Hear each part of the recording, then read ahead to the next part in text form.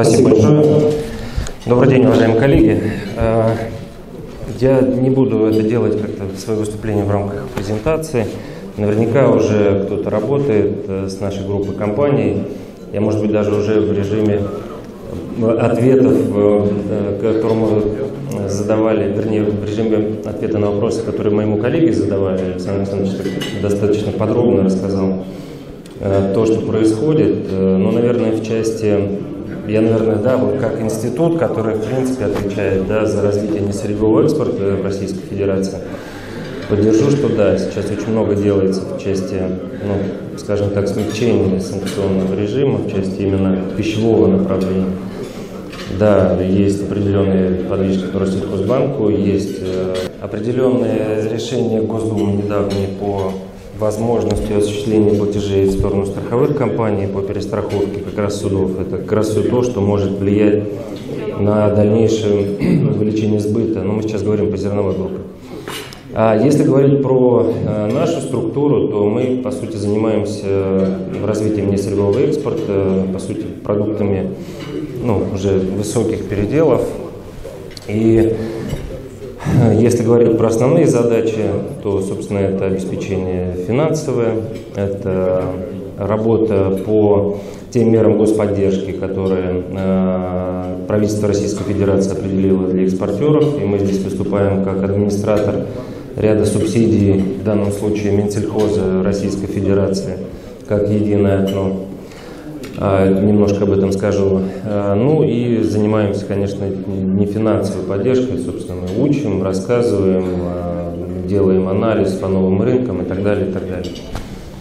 Если говорить по сегодняшней ситуации, да, конечно, с одной стороны, есть очень много нюансов, о которых уже упомянули спикеры это и логистика, это расчеты, но мы, по сути, там в ежедневном режиме работаем с каждой компанией, по сути, вручную, с тем, чтобы да, уходить от каких-то проблем в расчетах, э, давать какие-то альтернативные решения. Ну, естественно, и бизнес, конечно, очень много предлагает и ищет путей, э, через которые можно и, э, и платить, и принимать платежи и в части логистики э, находится решение. В части логистики сейчас очень активно заработал долгоиграющая история север-юг. Это как раз задействование Каспия, иранского направления с э, поставкой в Индию. То есть это все то, что сейчас уже даже в контейнерном исполнении пошло вот сюда уже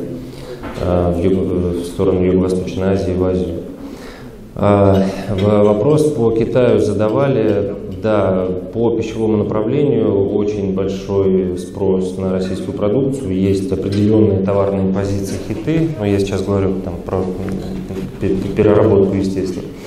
А, но здесь, э, помимо того, что есть проблемы с логистикой, есть э, ковидные ограничения внутри самого Китая, которые, собственно, ограничивали и до сих пор влияют э, на поставку, в том числе российской продукции. Но вот мы сейчас тоже видим там определенные смягчения и в части контейнерных поставок уже со стороны России. Но там сейчас в части логистики на Китай немножко другая проблема. Буквально вот сейчас мы утром с коллегами обсуждали из Новосибирска э, по контейнерному составу, по, по, по наличию. Есть там определенные нюансы. А если говорить по приоритетам, э, мы для себя это определяем следующим образом. Мы, по сути, выступаем как инструмент продажи и помощи э, российским производителям э, продать э, российскую продукцию за рубеж. Один из каналов, который мы реализуем с Минсельхозом Российской Федерации, один из инструментов, это создание ну, так называемых шоурумов российской продукции. Это, по сути, такие пищевые а, павильоны российской продукции, где а, иностранная компания может прийти, попробовать соответствующую продукцию, связаться с производителем, обсудить условия и так далее. А, три, вернее, четыре таких павильона у нас уже работали э, и работают несколько лет. Это Китай, Вьетнам, э, э, Эмираты, и Индия. И с этого года, вот уже касаемо приоритетов, у нас э, запускаются до конца года турецкий такой павильон и в Саудовской Аравии. Турции и Саудовской Аравии. По сути, вот мы говорим о э, тех приоритетах, которые, э, над которыми мы сейчас работаем. Естественно, в приоритете сейчас Иран.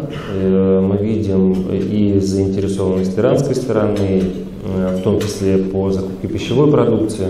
Причем, если даже там год назад взять, да, мы имели проблемы с расчетами с иранскими компаниями, понятно, это были третьи страны и так далее, там целая схема, но в принципе то, что и сейчас есть.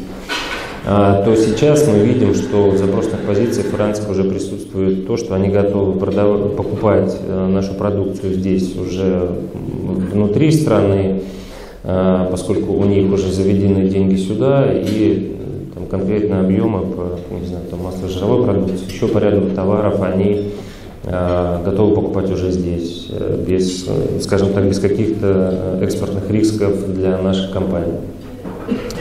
А, несколько слов по господдержке. Э, самый для экспортеров популярный у нас э, это транспортная субсидия именно для экспортных поставок и сертификация. А, нужно отдать должное, что правительство Российской Федерации ни на рубль не сократило а, эти строки по этим субсидиям в этом году. Они дофинансированы на следующий, вернее, профинансированы на следующий год уже. И здесь э, ну, работа с экспортерами ведется. У нас э, недавно выборку делал по Ростову, у нас по как раз транспортировке, это постановление 11.04, которое позволяет четверть расходов компенсировать как раз в части экспортных поставок. У нас уже порядка 40 компаний, кто воспользовались и, и объем очень хороший выбирает. Э, тоже, э, то же самое касается сертификации, то есть все, что связано с подготовкой товара к э, условиям требований внешних рынков. Над этим тоже очень много работаем совместно и с Россельхознадзором, естественно, с отраслевыми министерствами, контролирующими структурами. Вот, ну, это, наверное, если вкратце, вкратце тоже такими общими мазками готов ответить на вопросы. Друзья, вопросы зале есть? Да, пожалуйста. Спасибо. Подскажите, пожалуйста, вот как вы видите потенциал продуктов переработки в привязке к пшенице, кукурузе, к подсолнечнику, какие это продукты, на которые есть заявки, возможно, в российские экспортные центры, в какие страны и в каких объемах, ну хотя бы общими мазками. А, потому что, возможно, те или иные продукты переработки может быть не так сложно организовывать. Мы сейчас находимся в той ситуации, когда продавать просто продукцию это летальности, поэтому информация от вас вот в этом направлении мне интересна. Ну, здесь мы очень активно работаем, э, в том числе с нашей зарубежной сетью, с торговыми представительствами, где мы, по сути, получаем первичные запросы как раз по интересам э, иностранных компаний.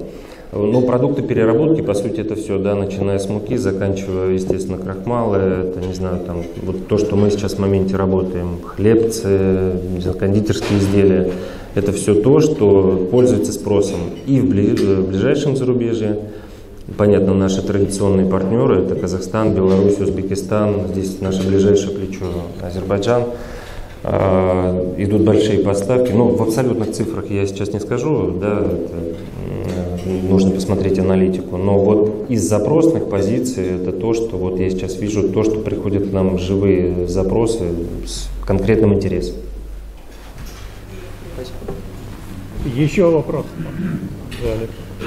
Ну, также спасибо вам, что вы помогаете крестьянам, потому что мы как-то, ну, как бы у нас страна сырьевая, но нет газ и пшеница. Пшеница тоже как бы сырье. И хотелось бы, конечно, узнать бы переработку, в каком направлении, там, ну, как говорите, спирт, там, мука, там, или что, что-то, или ковину.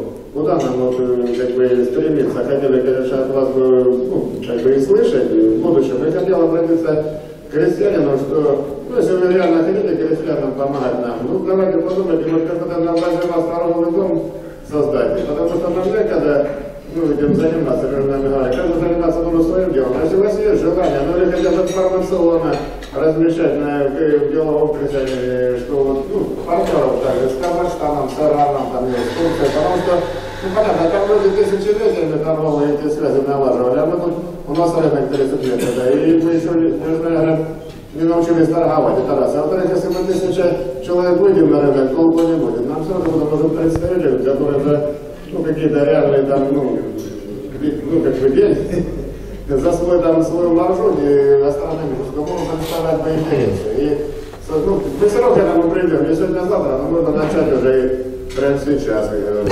подумайте на эту тему. Информационно предоставлять услуги вообще, ну, что в мире требуется. Или это все равно нарабатывать партнерами за рубежом. Ну, ну, без этого мы не обойдемся. Потому что, ну, сырье мы производим, да, и хотим переработать. А что переработать? И куда потом это делать? Вопрос. Потому что торговать тоже надо уметь. И там много тоже подводных камней, торговли. Это международное. Легче какую-то иметь ну, знала, что вот если отдал победитель, получишь, а не так, что тебя там тебя арестуют, там, или там привязываются какой-нибудь, там, ну, вы сами знаете, там, хозяйки, или всегда что на что-то найти, если сильно захотеть. Поэтому нужны гарантии, нужно какое-то или государство, или какая-то структура большая, чтобы и знаете, вот я не знаю, недавно сталкивался, ну мы тоже там у нас там ладно, там мы пшеницу производим, мы сами муку, был, было- спрос на му- муку, да, там как-то, у нас какие-то там люди там закупали кораблями и отправляли муку. Но это все фрагментарно, понятно, что постоянных пока нету оборудования. И, и они, конечно, у них там тоже маржа тоже неплохая. Поэтому наша мука, она, в принципе, неплохая. Понятно, что на, в этих странах, Египет, там, не, не знаю, Сирия, там мука хорошая, не знаю, лишь бы лепешка получалась, и все там. Ну, опять же, надо найти на эти рынки, которые тысячелетиями уже там связи семейные и все такое. Туда, говорится, и турки там на все наложили, как говорится, свою руку. Поэтому тяжело, но все равно этим надо заниматься. Спасибо. Хорошо. Э, А мне хотелось бы, э, спасибо, Владимир Васильевич, а а мне хотелось бы э, задать такой вопрос. Вот, лучше заниматься специализированной фирме э, переработкой или можно хозяйством? Вот как, допустим, у Владимира Буфтиярова э, сельхозпредприятие, которое перерабатывает и делает э, муку, делает хлеб, э, перерабатывает рис, э, хорошая продукция получается тоже. Э, Как вы думаете? А, Ну, формат и тот, и тот возможен. Мы работаем и со специализированными компаниями, кто занимается и переработкой, и там, не знаю, вот именно экспортным направлением. Но я исхожу из того всегда, что а, если а, предприятию ну, есть интерес и есть возможность к диверсификации бизнеса, то есть э, и э, на своей базе создавать какие-то э, мощности по переработке, то я, конечно, за такой формат. То есть это уже, как мы говорили, это другая маржинальность уже. Да, нужны, нужны, нужны определенные навыки, знания, там, понятно, и по производству, и по дальнейшей реализации. Но поверьте, сейчас э, столько много институтов, включая нас, да, которые и учат, и, пок- и рассказывают, и показывают, и кому можно продать, и как продать, как составить контракт. Ну вот полностью, э, что называется, упаковывают вас как производителя. Вот я, поэтому я лично за такой формат. Друзья, есть еще вопросы? Спасибо. Спасибо.